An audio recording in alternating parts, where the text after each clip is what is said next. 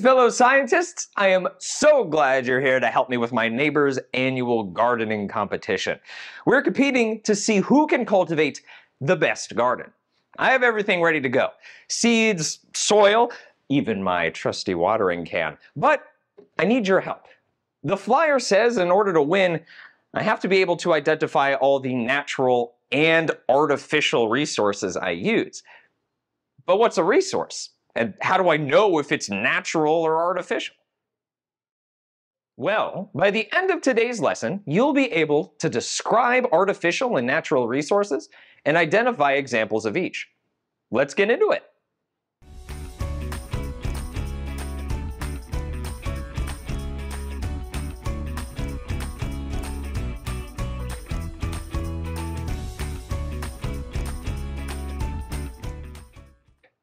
We use resources every day.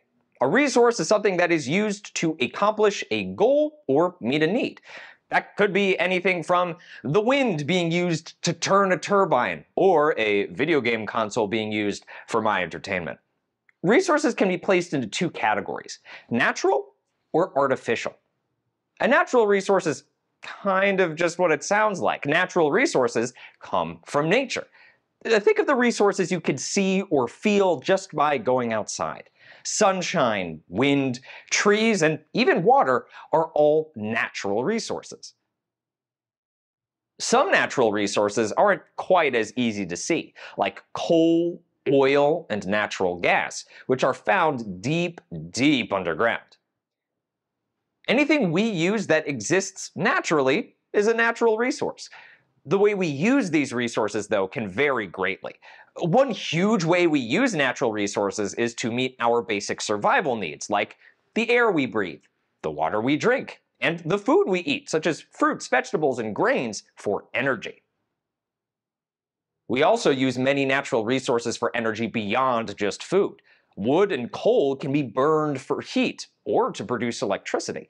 Sunlight, wind, and water can all be used to produce electricity too. So, natural resources come from nature. What natural resources am I using in my garden? Pause the video here and list all of the natural resources from my garden in your guided notes.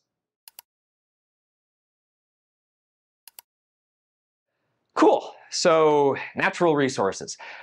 Well, the seedlings I'm planting are a natural resource. They're plants. The soil I'm planting in is also a natural resource. It's formed by the breaking down of rocks and living things. I'm also using water, sunshine, and of course the trees, grass, and shrubs that were already here for my garden. Those are all natural resources. Did you find any others when you were looking around? We know we can use natural resources to meet our survival needs as sources of energy, and of course to grow beautiful gardens. But we can also use natural resources to create new things. For instance, the wood from trees can be turned into planks to build with, paper to write on, or pencils to write with. Once humans change a natural resource to be used in a new way, like building materials or tools, the resource is then called artificial. Artificial resources are resources that are created by people, which is why they're also called human-made. All artificial resources started off as natural resources that we then combined or processed into something new. Take a moment to look around you. What artificial resources do you notice? Remember, these are resources that aren't found in nature. Pause the video here and record your thoughts in your guided notes.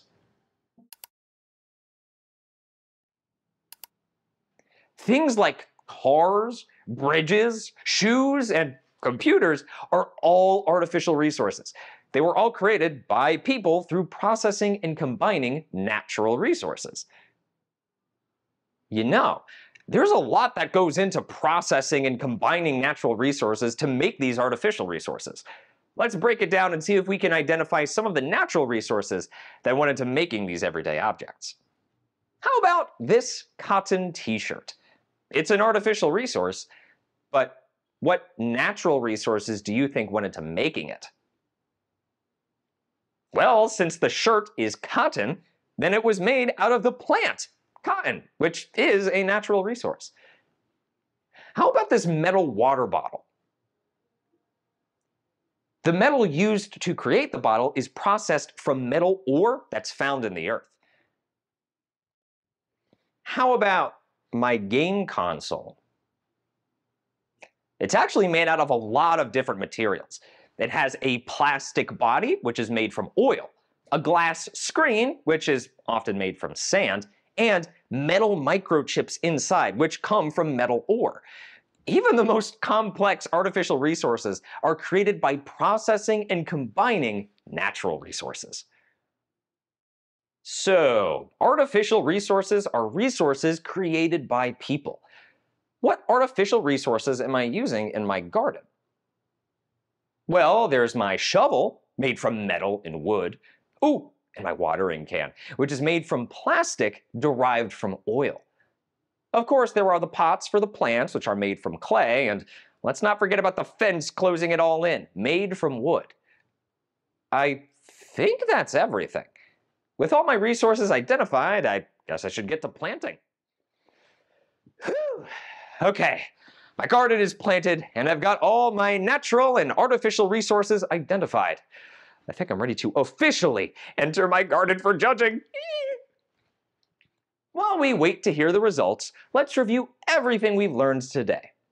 A resource is something used to accomplish a goal or meet a need. Natural resources come from nature, like trees, water, and oil.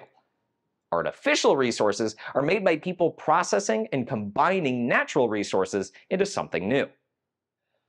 To learn more about natural and artificial resources, be sure to check out the activities and practice questions that go with this lesson. You are not going to believe this. I won fourth place.